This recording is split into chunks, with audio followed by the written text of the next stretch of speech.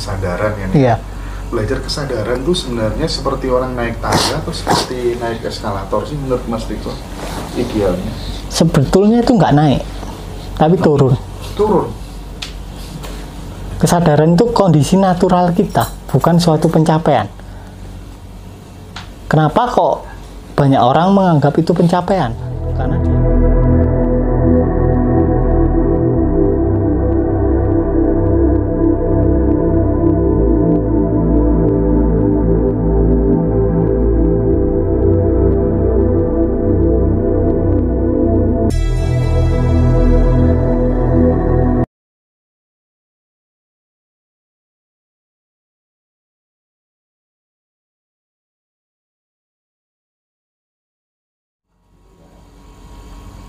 Berarti kalau selama ini kita ngobrol nih Mas Riko, kemudian ada hal-hal yang sekiranya tidak enak gitu ya, Hmm. kita anggap itu sebagai sebuah cobaan gitu. Sebenarnya itu semua adalah berkah yang tersamarkan ya. Iya, itu semua adalah berkah yang tersamarkan.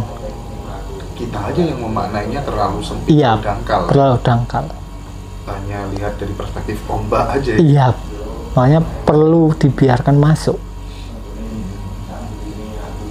Nah kalau tebakan Mas Riko sendiri nih soal Hmm. kan waktu kita kecil gitu kan kita diajarin ya nanti itu le ada yang namanya hari hisab ada yang namanya hari pembalasan Hmm. menurut Mas Riko itu semua terjadi di dunia atau setelah manusia mati sih Gini, kita perlu tahu kenapa orang mem- membuat dogma seperti itu.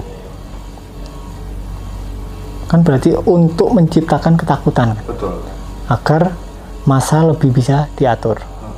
Itu pertama. Yang kedua, agar lebih bisa diatur.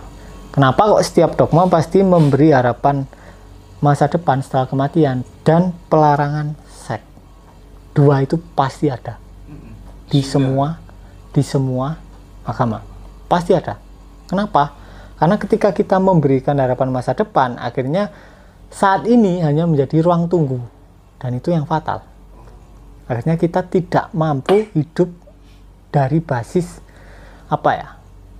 Basis perayaan. Karena kita menunggu. kita nggak bisa merayakan hidup kita Iya. saat ini Mm-mm. Dan yang kedua, kenapa seks diracuni? Seks tidak bisa dihancurkan, hanya bisa diracuni. Mau didogmakan apa pun, entah seks itu tabu, dosa, dan lain-lain, manusia tetap melakukan seks. Hanya saja seksnya tidak bisa total, karena sudah teracuni dogma. oh iya Dan ketika seks itu teracuni, ya sama kayak kerbau yang diemaskulasi, eh dikastrasi.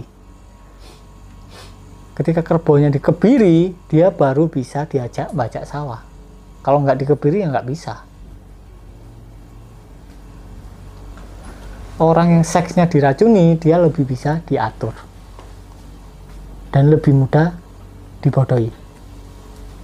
seksnya diracuni lebih mudah diatur dan lebih mudah dibodohi Iya, karena apa? Karena dia tetap akan melakukan seks. iya tapi didampingi oleh rasa bersalah. Nah, rasa bersalah itu yang digunakan untuk mengatur. Karena dengan rasa bersalah dia jadi tergantung dengan sosok tertentu. Jadi sebenarnya terkait dengan durasi lama itu ada kaitannya dengan ketika dia melakukan seks dengan pasangan tuh dia merasa bersalah apa enggak? Ada kaitannya sama itu? Ada kaitannya dengan itu. Oke oke oke. oke. Nah Mas Riko, eh, ini kan kita sama ngobrol kayak gini kan termasuk teman-teman yang nyaksikan di rumah kan kita Mhm. sedang belajar kesadaran ya. Iya. Belajar kesadaran tuh sebenarnya seperti orang naik tangga atau seperti naik eskalator sih menurut Mas Riko idealnya Sebetulnya itu nggak naik, tapi turun. Turun.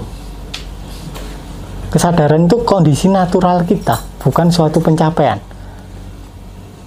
Kenapa kok banyak orang menganggap itu pencapaian? Karena dia menolak pengalaman saat ini. Padahal kesadaran ada di balik pengalaman. Apa pun pengalamannya pasti ada ruang kesadaran di baliknya. Yang sadar atas pengalamannya. Intinya pada dasarnya sebetulnya kita tidak perlu belajar kesadaran karena kita sudah sadar. Kita sudah kesadaran itu sendiri. Iya. Kalau Mas Hendra itu nggak sadar, coba Mas Hendra berusaha nggak sadar, wis bisa nggak? Nggak bisa. Cuma yang perlu kita latih adalah kita menyadari bahwa kita sedang sadar. Itu doang. menyadari bahwa kita sedang sadar Mm-mm. Ya sama kayak misal tombolnya itu on terus, nggak ada tombol off-nya. Tapi kita ngira kalau kita off, padahal kita selalu on.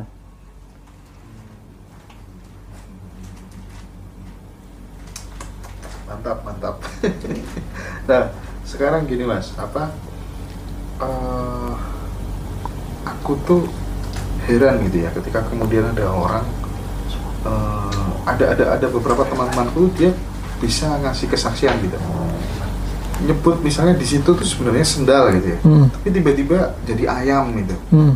ada orang yang nyambung kayak gitu tuh ternyata bisa loh kenapa itu mengalami hal-hal apa sebenarnya atau memang merubah merubah objek di matanya orang yang dia pengen tunjukin atau seperti apa sebenarnya kenyataannya Nah itu nggak tahu, aku belum pernah ngalamin soalnya. Jadi tidak bisa komentar lebih jauh. Kalau aku komentar nanti jadinya asumsi. Kecuali aku ngalami, misalnya Iya, iya, Om iya, Teguh paham, dirubah paham, jadi jadi kuntilanak, gitu aku ngalami berarti. Wah keren ini, itu. Oke, sekarang gini mas, banyak orang sekarang kan eh, teman-teman teman-teman remaja gitu ya Mm-mm. suka sesama jenis. Mm-mm.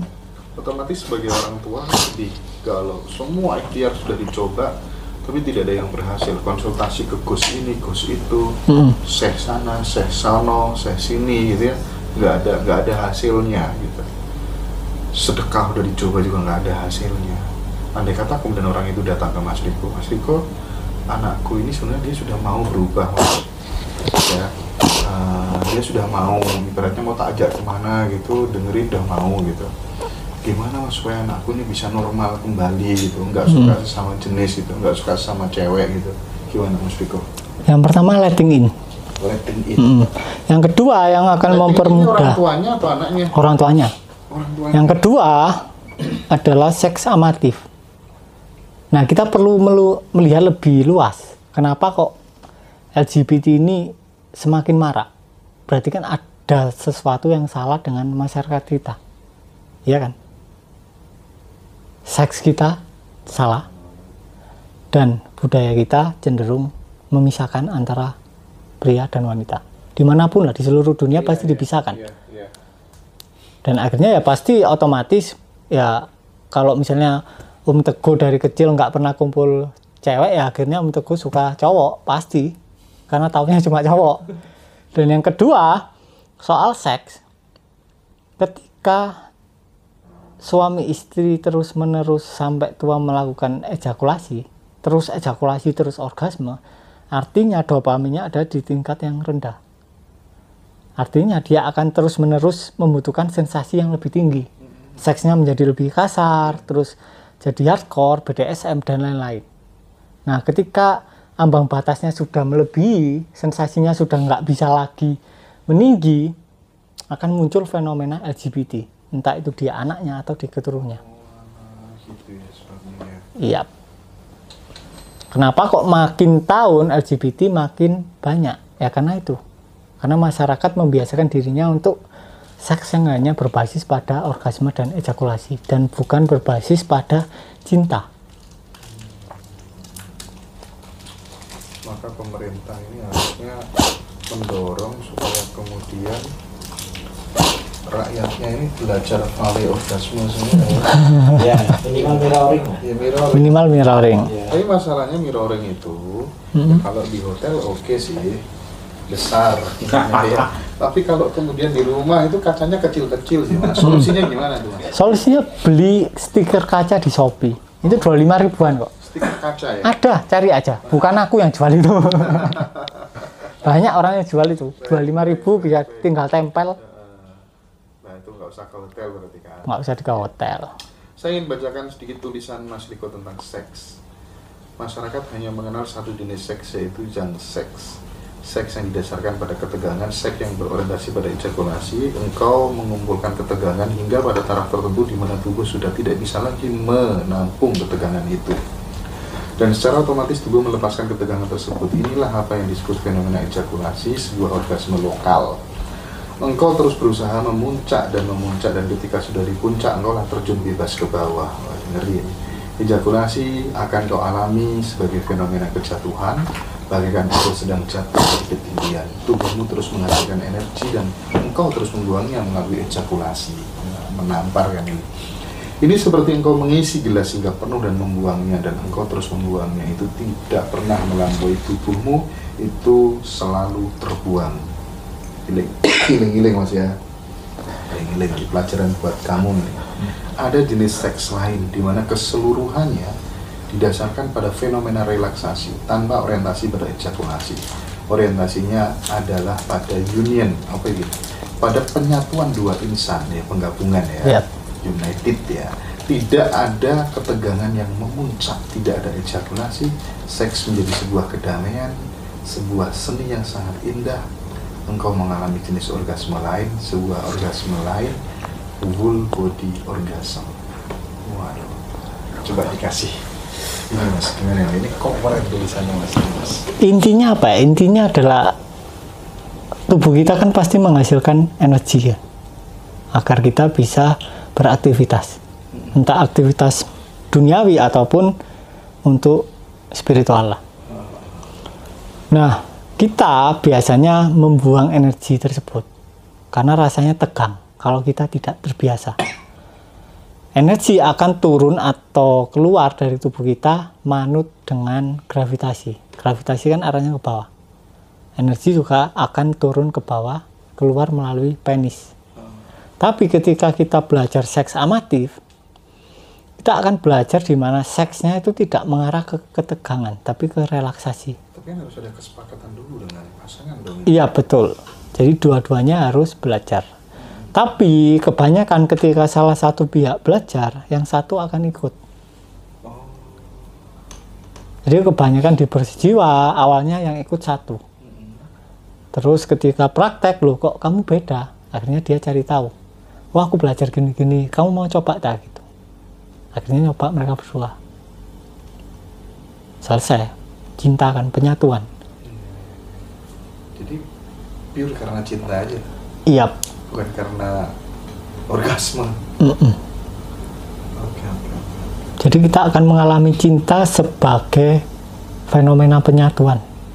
Jadi dari bersetubuh menjadi bersejiwa. Oh bersejiwa. Iya. Oke bersejiwa sih, bukan bersetubuh sih. Ingat-ingat ya. Bersejiwa. Wakil lah ya, Bu.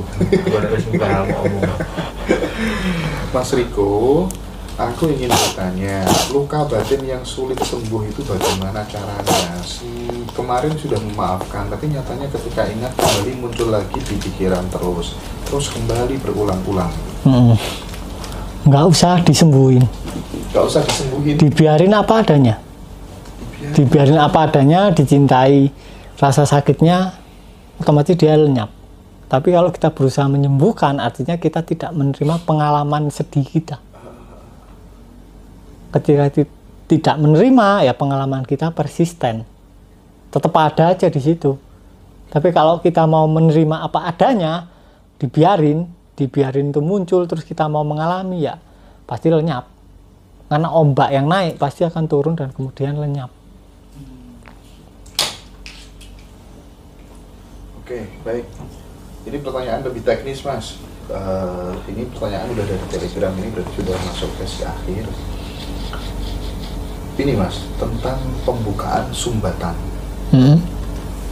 Clearing Susumna Sudden Awakening meditasi dinamis untuk orang eh, tidak bisa fokus lama-lama gitu.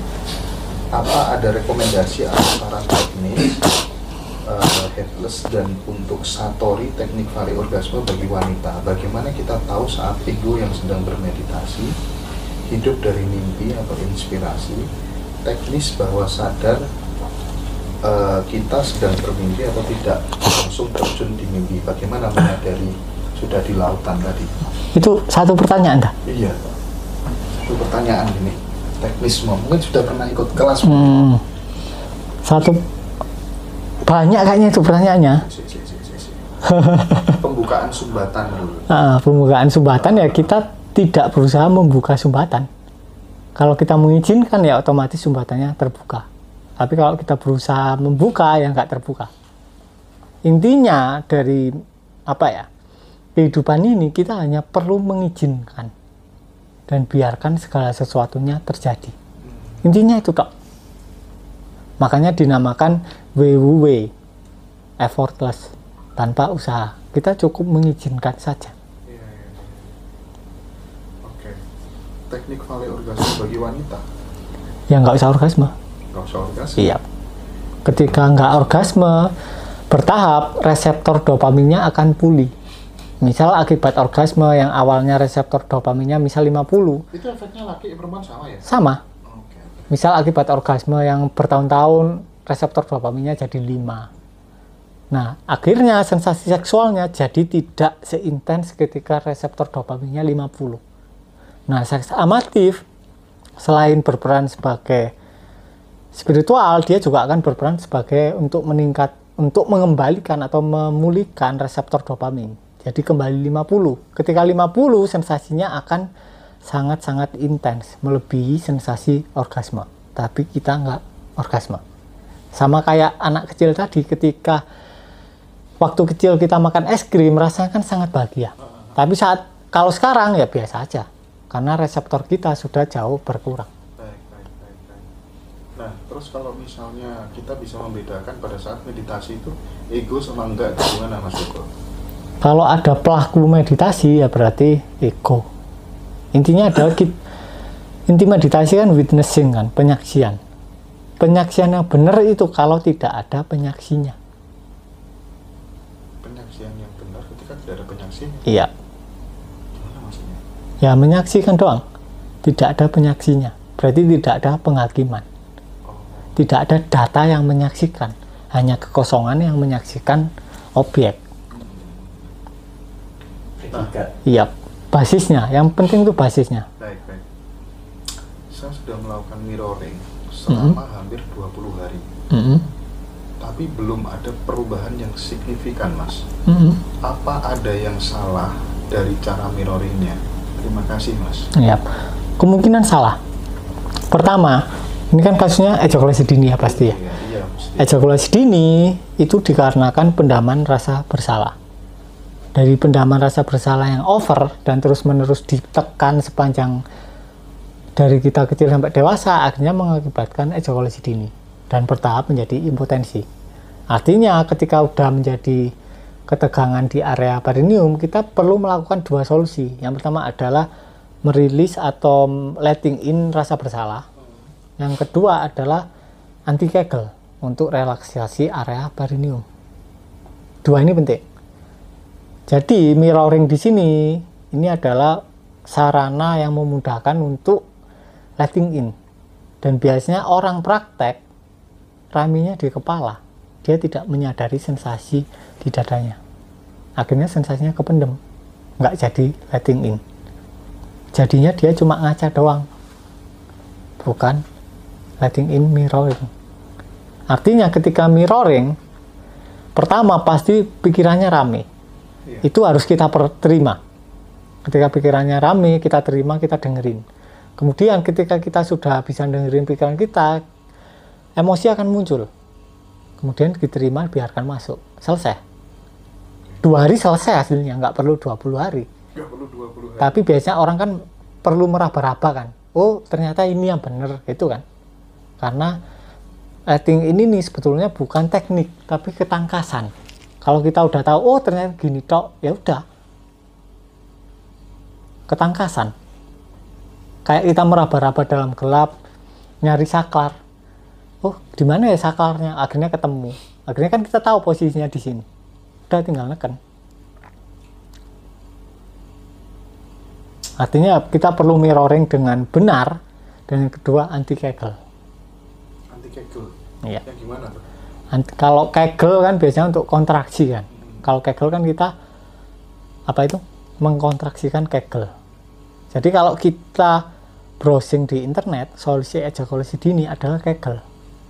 Padahal kegel malah menciptakan ketegangan yang konstan di area perineum. Dan ketika konstan itu akan berpengaruh ke prostat. Jadi lebih cepat ejakulasi harus anti kegel. Karena alam semesta yang sudah berkelimpahan ini menurut Mas Riko, apakah kita tetap perlu menabung dan investasi untuk masa depan? Atau hanya perlu mengalir apa adanya dan ketika kita perlu atau ingin maka alam akan memberi apa yang kita inginkan? Itu pertanyaannya bagus. Ya. Nah, ketika kita ada di lautan dan alirannya menabung, ya kita akan menabung. Kalau alirannya kita ada di lautan, alirannya investasi ya kita otomatis akan investasi. Dorongan, dorongan. Dorongannya ada.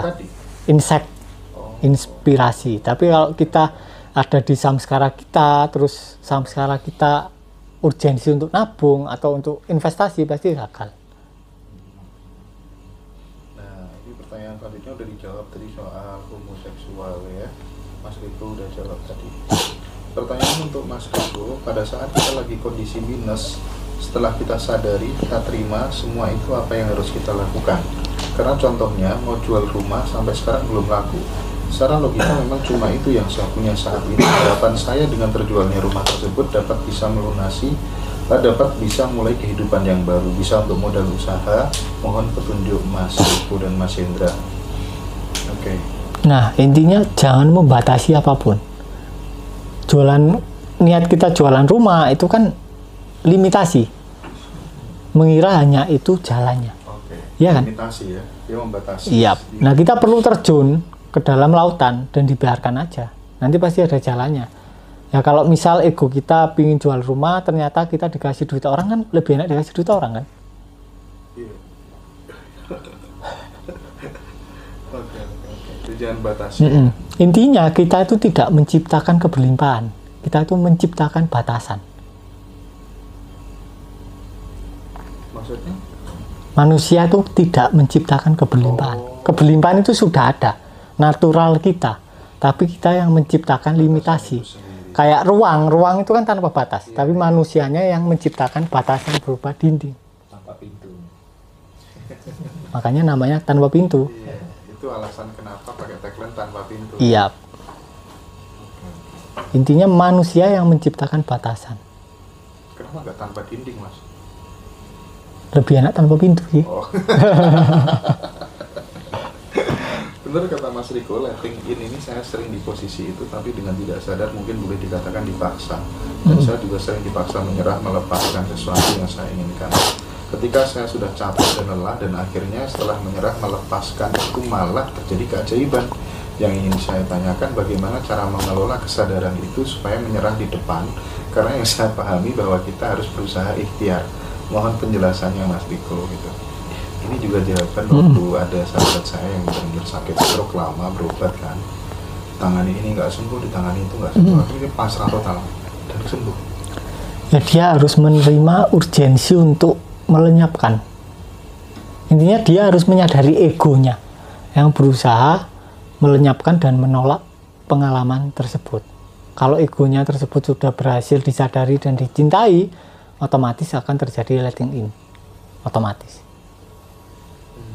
Yang perlu kita lakukan kalau kasusnya seperti itu adalah mencintai penolakan. Ucapkan ya pada penolakan. Nah, supaya tadi bisa menyerah di depan tadi mas. Tidak karena terpaksa itu Iya, dia tidak bisa menyerah karena masih menolak pengalaman. Oh, Kalau kita ucapkan ya terhadap pengalaman atau tera eh ucapkan ya terhadap penolakan, ya udah kan, pasti menyerah kan, karena penolakannya lenyap ketika kita menerima penolakan. oke oke ngerti ngerti ngerti ngerti nah kalau misalnya gini dia kerja sebagai debt collector suatu perbankan yang setiap hari mempunyai tugas menagih hutang dan mendengar keluh kesah debitur yang tidak bisa membayar hutang. Terkadang kita terseret dalam arus cerita debitur itu. Bagaimana penjelasan Mas Riko menyikapi fenomena tersebut dan supaya vibrasi kita sebagai si penagih hutang tetap positif itu ya satu. Kemudian yang kedua kayak misalnya usaha-usaha dunia perbankan begitu ya, Hmm. eh, koperasi simpan pinjam dan lain sebagainya perspektif lautan itu bagaimana sebenarnya apa yang Hmm. salah? Nah, ketika kita nagih orang dan orangnya susah bayar, nah kita perlu sadari atau perlu menerima, perlu tahu lah sensasi yang terjadi di tubuh kita itu gimana ketika customer kita nggak mau bayar.